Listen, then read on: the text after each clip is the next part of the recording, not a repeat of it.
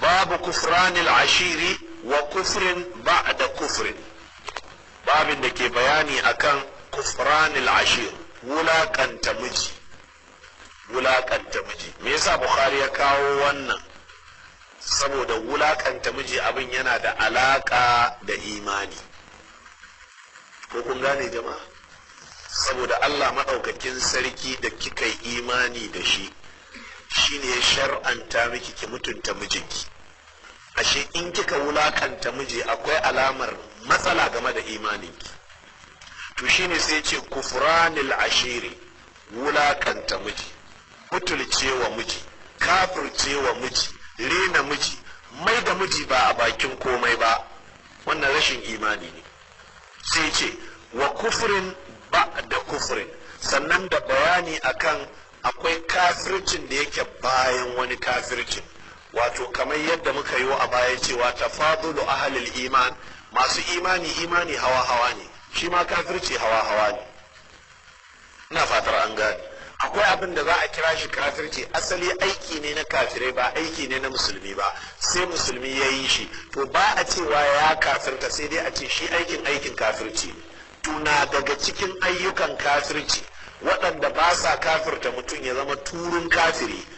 shine matar aure ta rena mijinta matar aure ta wulakanta mijinta to ta aikata aiki na kafirci sai dai kuma wannan kafirci ne duna kufrin ko kafirci ne ba da kufrin bai kai kafirci irin kafircewa Allah da manzon Allah sallallahu alaihi wasallam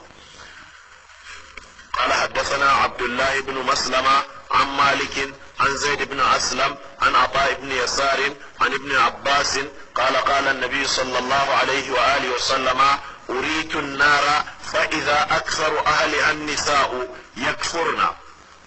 قيل أيكفرن بالله؟ قال يكفرن العشيرة ويكفرن الإحسان.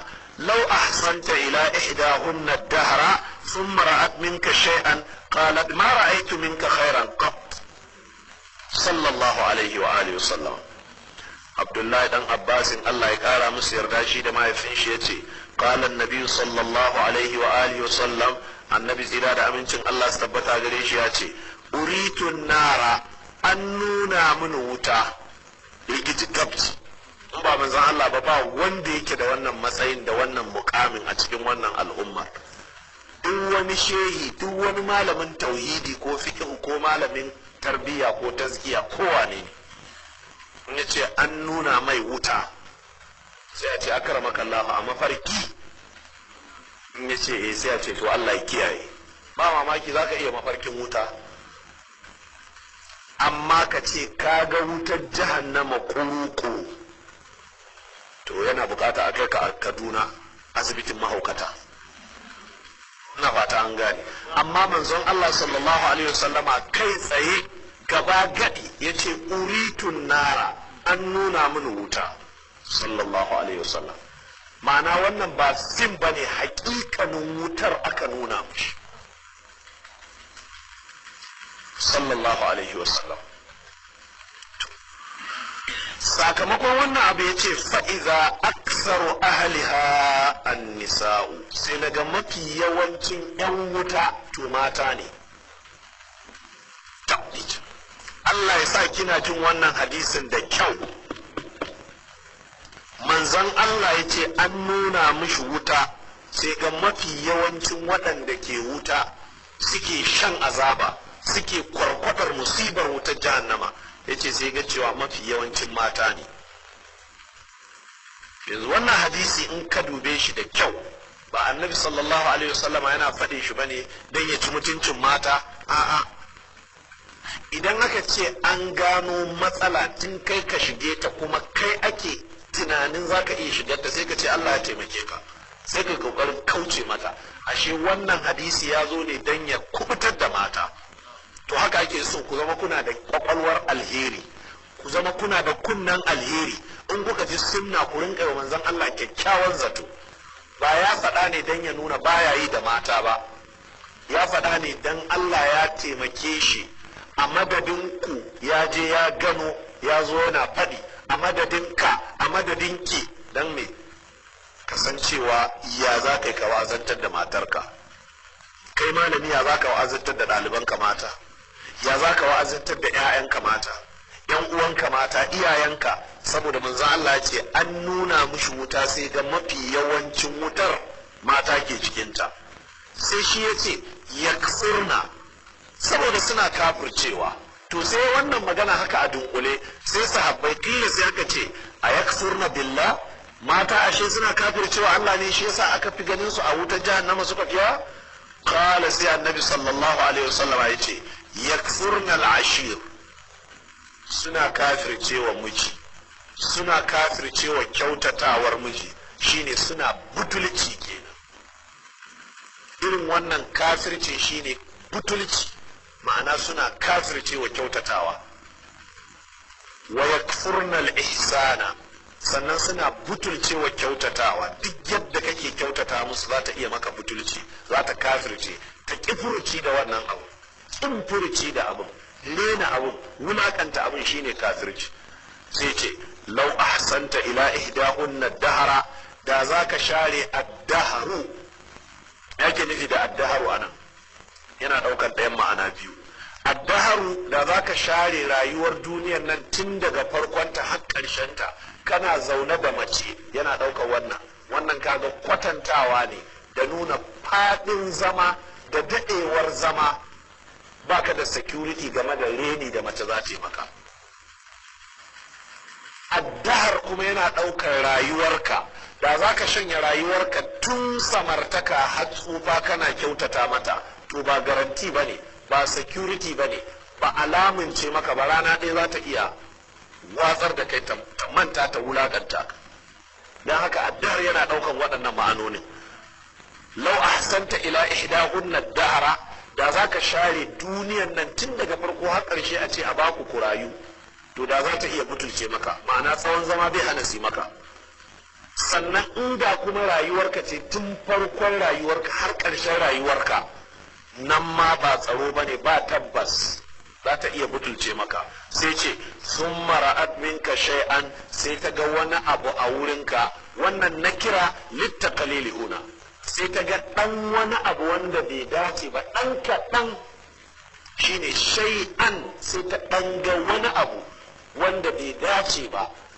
Tare da cewa fa tsawon rayuwarka me kake mata kyautata mata kake mutunta mata kake ciyar da ita kake shayar da ita kake wurin kwana tufafi komai kare mata mutunci.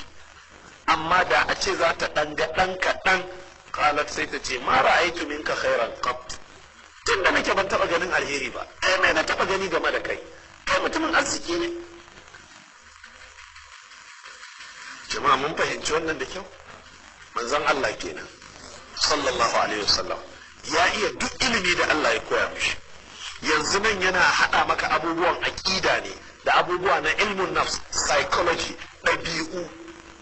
Wallahi in ka bi sunnan manzon Allah sallallahu alaihi wasallam sai da ka zauna lafiya da mata ka zauna lafiya da kowa. Duk wani fitinanne da fetsararre kana da yadda za ka iya zama da shi. Tun namiji wannan abin yana ta mai da hankali. Ka kyautata ka kyautata ka kyautata. Rana ɗaya in aka yi kuskure ɗinkin sallah ne baka karɓo da wuri ba.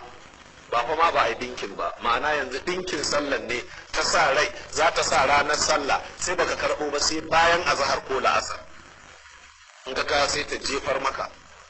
Ta ce an ce maka gidan mu gidan talakawa dama ba abin da ka taɓa min tun da na zo gidan nan wahala nake to in ka gane wannan ba za ka damu ba jama'a.